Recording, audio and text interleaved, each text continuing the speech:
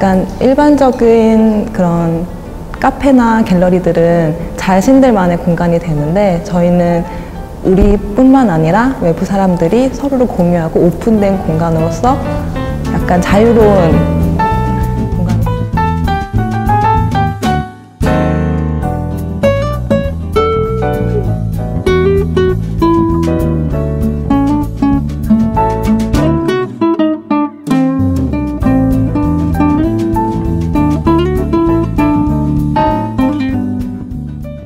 느낌?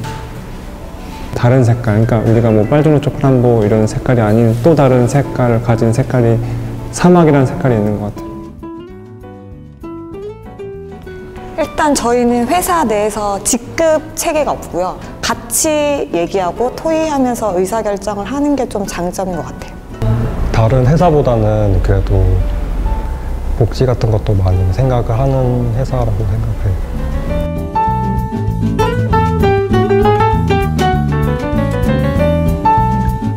제가 처음부터 뭐 공간 디자인을 하겠다 해서 하는 건 아니고 디자인으로서 이제 풀어가는 거에 대한 재미 그런 거를 어, 느꼈기 때문에.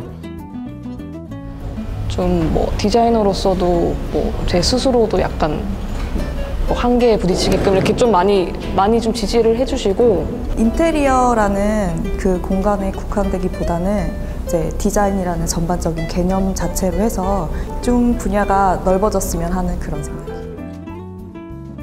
이제 1층은 저희 회사가 추구하고자 하는 방향을 좀 더 적극적으로 실험하거나 연구할 수 있는 공간으로 지금은 이제 현재 카페를 좀 같이 겸용할 수 있는 그런 실험적인 공간도 계획을 하고 있고 저희가 디자인 해온 프로세스들을 다 사진으로 기록하고 있거든요.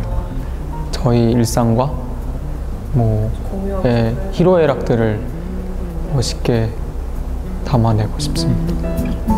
음.